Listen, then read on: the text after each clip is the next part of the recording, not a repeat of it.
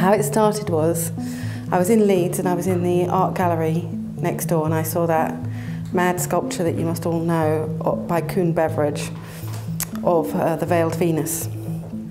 I was completely taken with it. So in her life story, there's a little bit about uh, her being taught by Rodin. It sort of started the journey to think about all the other women that were there, the difficulties of making sculpture, you know, how do you get, because I was really interested in that. And then I started looking into the other women and realising there was a, a, lot of interesting stories, not just hers. And, um, you know, had a bit of time here in the library um, trying to do that research and, and piece it together. And with a lot of these artists' work, there's very little work that you can find evidence of.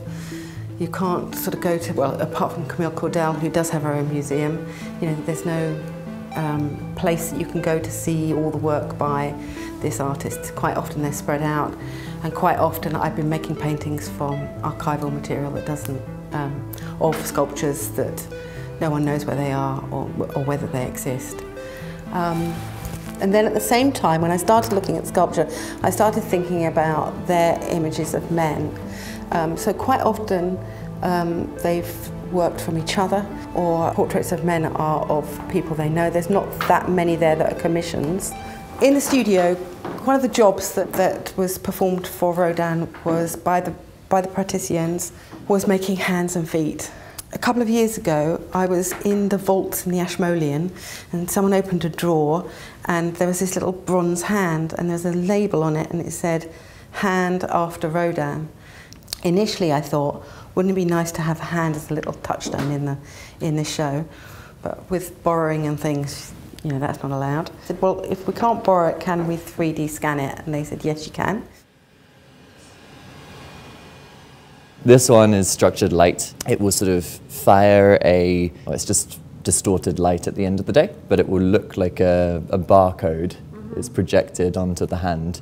Um, and so it will project with this, and then two sensors will read the, the curvature in the lines, uh, which means, say, like if it's a straight line, uh, it means a flat surface, um, but any curvature in the line will be read and brought up on the screen straight away. We'll turn the hand upside down, scan that, and then afterwards I'll remove the background and any little bits and bobs and merge it all together.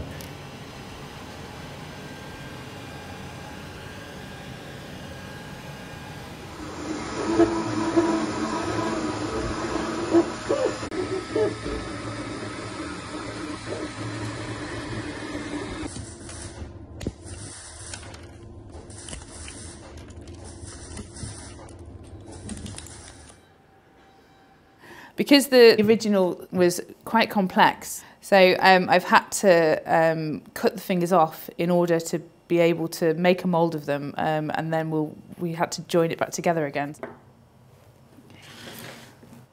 You shouldn't stop at any point because that will cause a line in the, um, in the cast.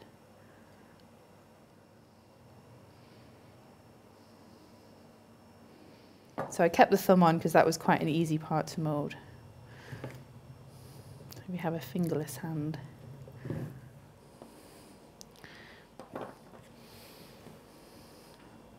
What I will do is just go through the fingers and, and add them, join them with a, a little bit of porcelain slip. And then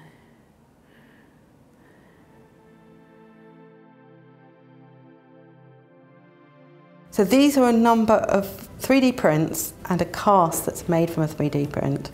Of course, once I saw them all together, I realised that in the same way that I was thinking about the translations between media from the sculpture to a photograph that then I'm working from uh, in a drawing or a painting, you know, this kind of translation of this image across uh, media, this was present in there, and there isn't one that is the one that is the original.